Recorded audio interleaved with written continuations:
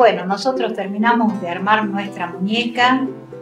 Eh, aclaración, podemos armar muñecas y muñecos varones, ¿sí? En este caso yo les había traído muñequitas. Yo espero que ustedes me armen sus muñecas y que me manden, chicas, toda clase de consulta que quieran hacerme. Eh, voy a estar eh, esperando el mensaje de ustedes y quiero ver fotitos, ¿sí? un ratito, una fotito, este, y me preguntan, Adri, no sé cómo hacer esto, tengo una duda, ahí estamos.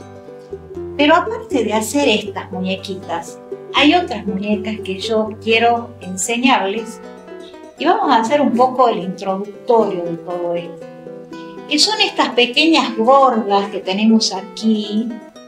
Miren, chicas, acá tenemos una brujita que se escapó con su perro pero también está con el, con el barbijo, un poco punk, ¿no?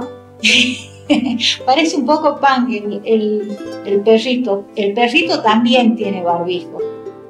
Tenemos acá la brujita y tenemos por este lado un angelito que te está diciendo quédate en casa. Con las alitas, esta es una hermosa lámpara que vamos a hacer pero nosotros tenemos que aprender, en este caso, las muñecas, los móviles, millones de móviles.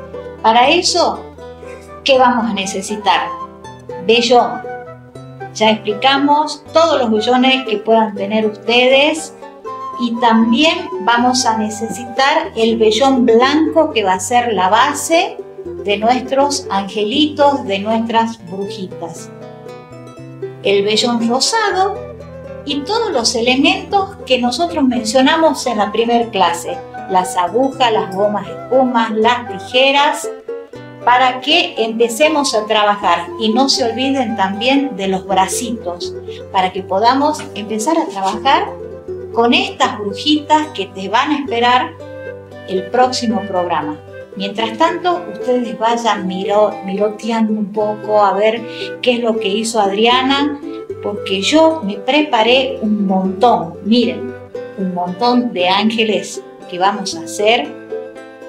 Miren la cantidad de bases para que ustedes puedan empezar a hacer los móviles y empezar a diseñar tus angelitos.